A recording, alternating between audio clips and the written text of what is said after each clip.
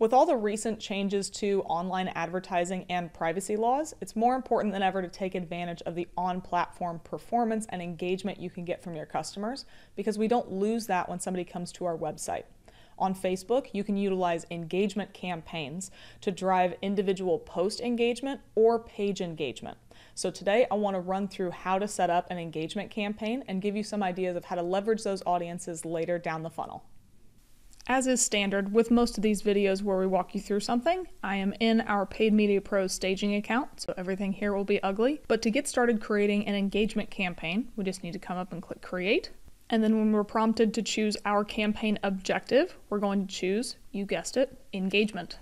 Unlike most of the other campaign objectives on Facebook, engagement campaigns are then going to ask you what type of engagement you want to optimize for in your campaign. There are going to be three main types. The default is post engagement, so trying to get people to engage with that post specifically. The second is page likes, getting them to like your Facebook page or Instagram profile. And then the third is going to be event responses. And event responses have quite a bit more going on outside of just creating this engagement campaign. Luckily, Joe has already put together a video on Facebook event campaigns. So if you want a full rundown of that specific setup, you can check out the video at the top of the screen right now. But for this video, I'm going to focus only on the post engagement and page like options. Overall, the setup for both post engagement and page like campaigns are going to be really similar. We're going to go through, you just choose the engagement type, you set up your audience, and you create your ads. But then Facebook on the back end is going to optimize for the different actions. So let's go ahead and run through a post engagement option first.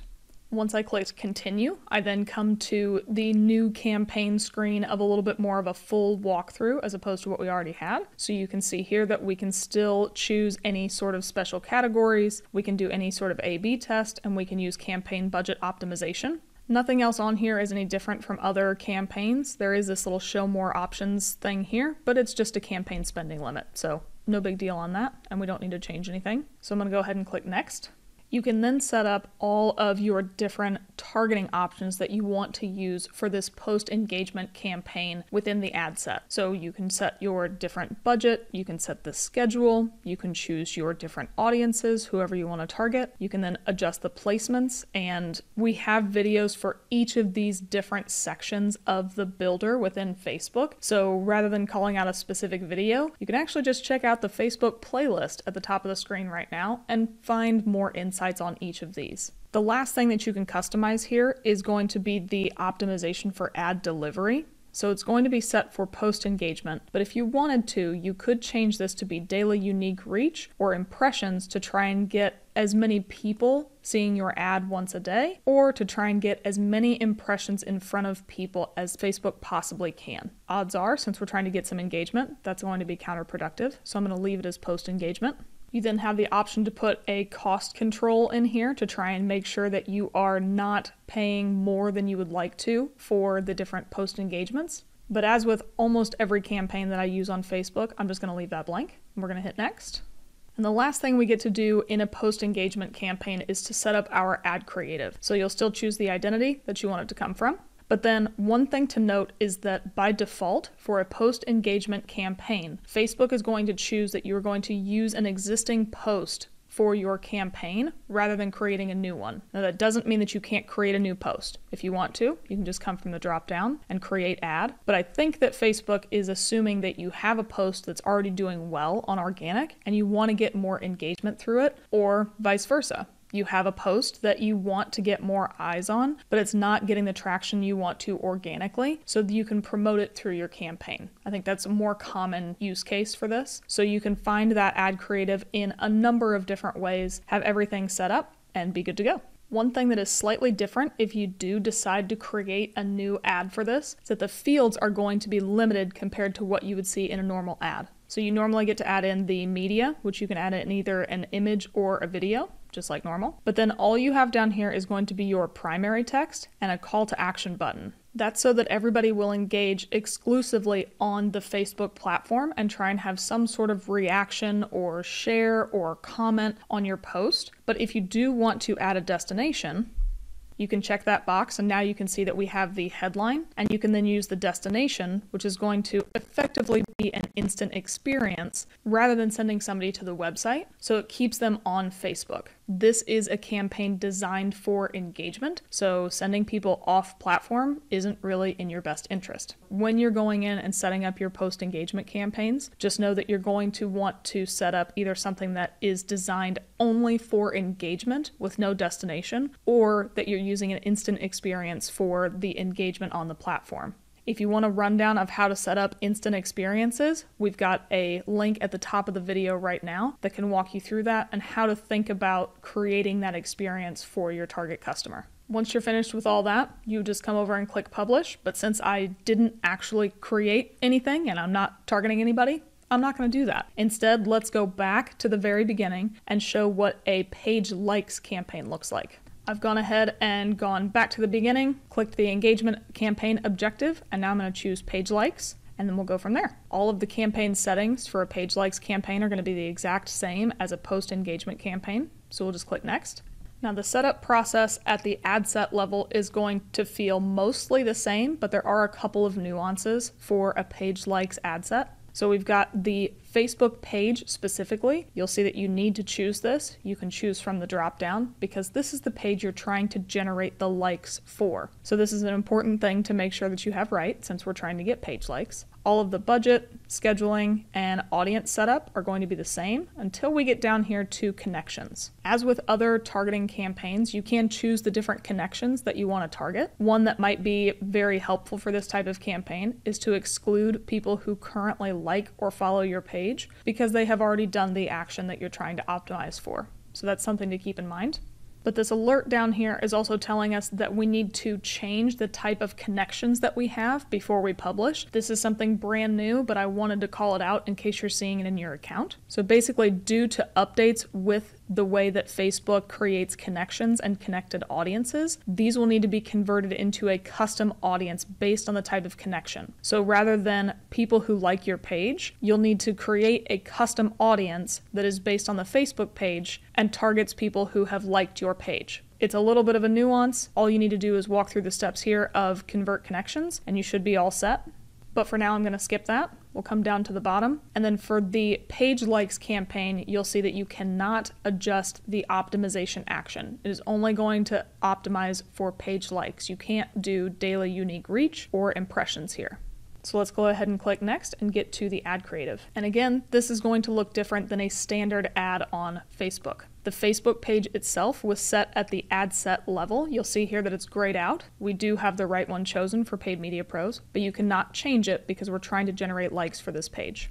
When it comes to the creative itself, there's very little that you get to do. There is some media. You can edit that and change it to some different image. You can edit the media just a little bit, or you can turn it into a video. That's pretty much it. You've just got the one option, and then all you have is a primary text available. Make sure that whatever you're using here is going to be impactful. And if you'll notice in the example off to the right, the primary text that you use is going to be used in both the intro section above the media, but it will also be used below the page name, which is going to operate as the headline of the ad. So make sure that whatever you type in there makes sense if it shows up in both places, because that's how it's going to show up. So, overall, the setup for either a post engagement or a page likes engagement campaign is pretty similar to a regular conversion or traffic campaign. The only main differences are going to come down to the ad creative and what that user experience is going to look like. Once we've launched our campaigns, there are ways that you can see the engagement metrics in Facebook. So, I'm going to hop into a different account that actually has performance so you can see what those look like.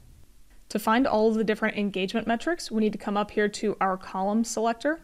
And then one of the preset options for columns is actually going to be engagement. Here you'll be able to see across campaigns, ad sets, ad creative, what the different engagements were. So you can do post reactions, comments, saves, shares, link clicks, and page likes. The campaigns that we have set up here are optimizing for website conversions. They're really not trying to get these different things, but you can see that even conversion campaigns will drive all of these different engagement actions.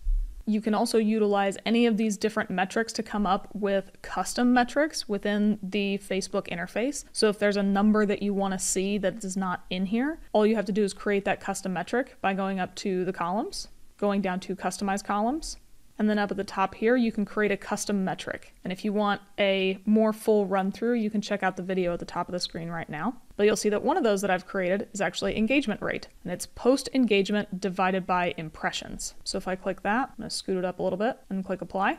Now I have my custom engagement rate metrics to see how each of these different campaigns, in this instance, is generating engagement. The last thing I want to show you is how to create audiences based off of the engagements that people are taking on Facebook. Because again, since we're losing some of the third party tracking capabilities with cookies, utilizing the engagement can be maybe not quite as good, but pretty close to having website visitors. So let's hop back into the Paid Media Pros account and show you how to set some of those up.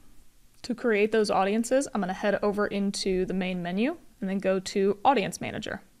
We can then create a new audience. We're going to say custom audience.